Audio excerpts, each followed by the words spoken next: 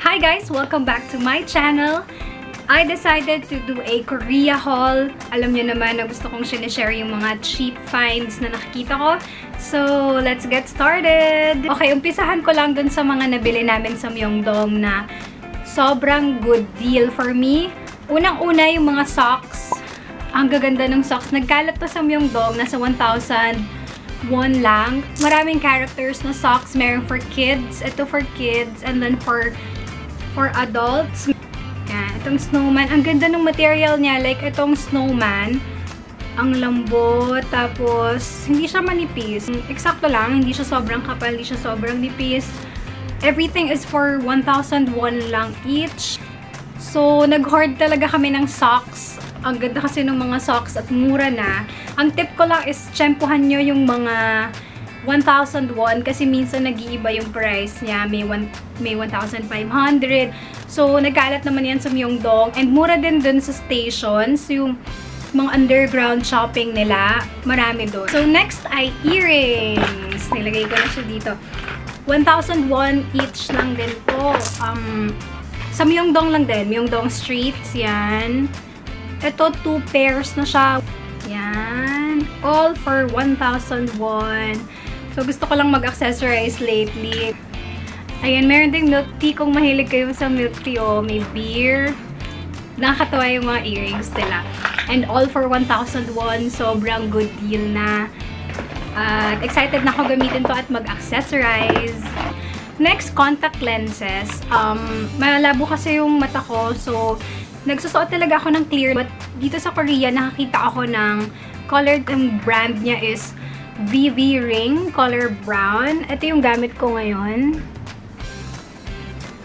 Yan. Um, for me, good deal na to. Around 1,000 pesos for two pairs at one month yung use niya.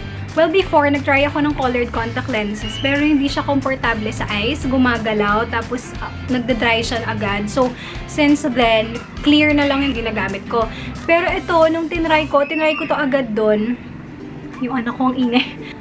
Komportable siya, tapos hindi siya yung gumagalaw, at kahit matagal ha, ginamit ko siya ng mga 8 hours, hindi siya nag-dry. So, good deal ito for me. Meron nga din daw na version na one day use lang. So, hindi mo na kailangan ng solution at itatapon mo na yung contact lens after use. Pero hindi ko na na-explore yun eh. And this one, meron silang free bottle ng solution. Tapos, meron din silang parang model na eyes. So, kung may gusto kang itry na color, depende dun sa color ng mata mo. Ipapakita nila sa'yo para malaman mo yung effect niya kung maganda. So, yon I got these lenses from Olens. Next is hand lotion. Nagkalat din to sa Myeongdong. Ang daming stores na may makikita kayong hand lotion at mababango talaga ang daming scents, mga blueberries, different fruits, ato avocado and peach. This one, nabili ko sa Daiso for 1,000 won. Ang bango-bango, binuksan ko siya nung ula kong bili, tapos binalikan ko. Bumili ako ulit. So, pwede na for 1,000 won, ba? Diba? Next is makeup. As we all know, mura yung makeup sa Korea. Yung mga brands nila, syempre. Pati yung skincare. So, sa makeup, I got konti lang. I got this mineral powder from Innisfree and itong green tea mist. Naka-sale yung Innisfree sa Myeongdong. Yung may Innisfree Cafe. So, I got these two plus itong mask for 16,000 won. At meron pa tong kasama na two pieces na mask. So, good deal na, ba diba? Almost 700 lang itong tatlong to plus yung mask. And I also got this from Etude House, yung Big Cover Concealer Pro Pot. So, may nag-recommend lang sa akin ito. At tinry ko siya. Maganda. Ito yung gamit ko ngayon. Wala akong foundation, just this concealer. Tapos, pinatungan ko siya ng ito, yung Innisfree na mineral powder nila. Yun, yun lang less than 300 pesos pa nga. Pero hindi ko lang maalala yung exact price niya. This one, yung Misha per Perfect Cover BB Cream na sikat. Um, nakita ko na sa online store na sa 1,600 pesos siya. Pero around 700 pesos lang doon. And then yung mga lip tints. This one from Perry Pera. I got one also from Lily by Red. And ito, from Apu. Tama ba? Apu. Ito yung gamit ko ngayon. Sobrang nagustuhan ko kasi hindi siya sticky natin. At ang bango-bango niya, sobra. Parang ang sarap kainin. Parang siyang candy. Nasa around 200 pesos lang to. Itong mga to, hindi siya 200 to 250 pesos na lip tints. So, sobrang cheap find na na to. Okay, sa skincare naman, syempre mas mura doon yung mga popular brands nila like COSRX. I got this for around 400 pesos. Pero hindi siya malaking difference doon sa mga online stores dito na binibilan natin like Beauty Manila, Althea. I checked this sa Beauty Manila, 540 pesos. So, pwede na eh. Pero doon kasi sa Korea, syempre may tax refund pa. At binili ko to sa Olive Young. Na-curious lang ako dito sa Sunstick, yung CNP Laboratory. Marami rin nagre-recommend nito. This one is around 400 pesos. I got this also from Olive Young, so I can't wait to try this. Oh, and I got this from Skin Food finally. Sobrang tagal ko nang gustong itry nitong Black Sugar Mask um, Wash Off. Yan. At na-try ko na to kahapon. Grabe, ang bango-bango. At ang soft ng skin ko after. Siguro gagawa ko ng separate video for that. Let's see.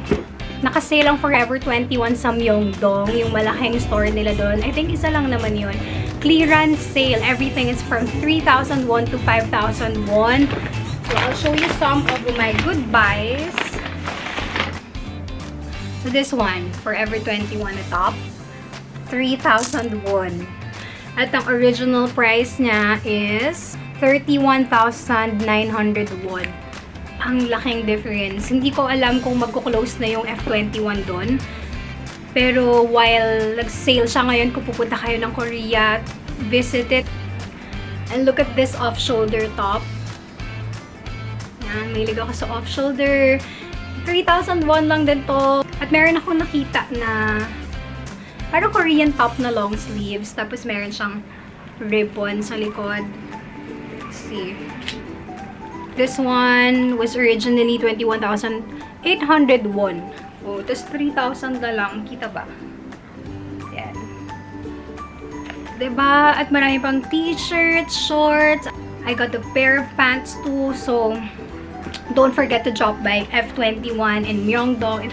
Sana magtagal din yung sale nila. What else? Oh, yung mga mask pala. I forgot. Ito, Bumili ako sa Mediheal. Ayan, si Kim Ji-won. Gandang-ganda talaga ako dito. Sobrang ganda. Itong Refill Talks for Lip and Neckline. Excited na akong matry ito.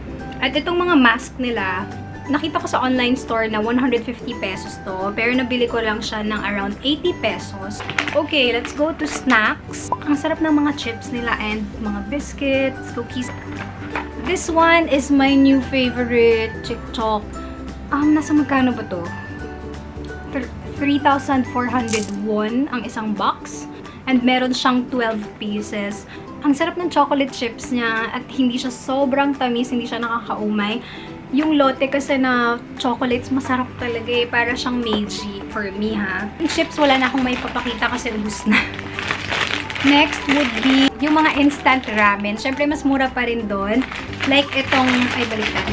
Like itong cheese ramen, yung isang pack of 5, nasa 200 pesos. At nung nakita ko to dito sa Korean Mart, they sell the pack for 380 pesos. So, yun, mas mura doon. Sobrang sarap nito. This is my favorite kasi na-try ko na dito to dati. So, kaya bumili na talaga ako doon ng marami. This one is japchae. Um, hindi ko pa natatry. Hopefully, masarap. Pero, mahilig kasi ako sa noodles. So, ayan, yung mga ramen. We got these sa Lotte Mart. At na-discover namin na mas mura yung mga snacks doon. Yung mga pagkain doon sa Lotte Mart nila. Compared to sa mga Lala Mart at yung mga stores doon sa Myeongdong. At maganda doon sa Lotte Mart, may mga free taste yung pagkain nila. So, para matry nyo kung masarap bago kayo bumili. At sa mga na-try namin na seaweed chips, ito talaga yung sobrang masarap for me. Um, from Bibigo, itong almond butter. Ang sarap-sarap yung isang pack niya of 6 yata yung laman. Nasa 400 pesos. And then, ang pinakasikat na pasalubong from Korea, itong Tom's na mga almonds. Ang daming varieties doon. Itong cookies and cream. May milk tea, yan. Ito yung nagustuhan ko. Plus yung laver, masarap din. Sobrang sarap. Kaso ubus na. And ito, nabili namin to sa Namdaemun Market. 5,500 won each. Okay na yun. Nasa around less than 300 pesos. Dito kasi binibenta to ng 400 pesos. Tip, yung mga coats nila, ang mura din sa Korea. Sobra.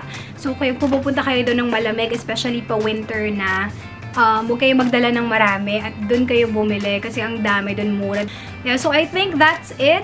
I hope you enjoyed watching this video. May this serve as a guide for you. And if you have any recommendations sa mga cheap finds pa sa Korea, let me know also para pag bumalik kami doon ay ma-check natin yan. Thank you so much for watching. Don't forget to like and subscribe. Bye!